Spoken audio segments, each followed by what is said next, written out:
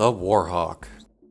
Dubbed Masakari, an old Terran Japanese word for battle axe, by the forces of the Draconis Combine who had initially encountered it. The Warhawk is an awe-inspiring sight for clan and inner sphere alike.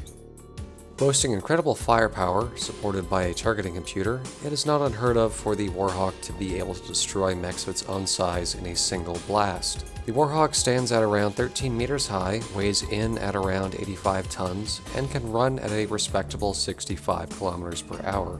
All of its default weapons function well at long range, making it a good choice for a sniper or fire support. Despite being an impressive design, the Warhawk is not without its flaws. A high energy loadout results in a massive heat buildup that its 20 heat sinks simply cannot dissipate effectively enough during a pitched battle. As a result, veteran pilots know to slow their rate of fire to avoid emergency shutdown, heat exhaustion, or critical reactor failure. In some recorded cases, the heat level has gotten so high as to cook off the ammunition inside the mech, severely damaging the mech from within. Only a special ammunition containment system prevents a complete fatal event. The primary configuration of the Warhawk comes equipped with a frightening four particle cannons.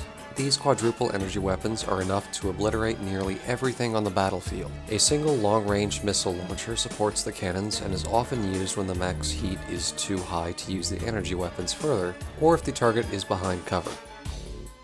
Alternate configuration A mounts two lasers, an autocannon, and two missile launchers, one long and one short-ranged.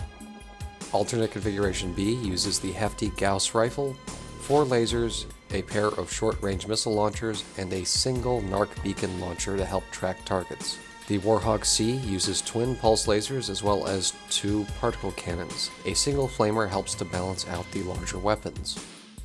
Only the Smoke Jaguar clan possesses factories capable of producing the Warhawk, though it can still be found among the other clans. Clan Jade Falcon, as well as the Ghost Bears, seem to have a particular love of the design.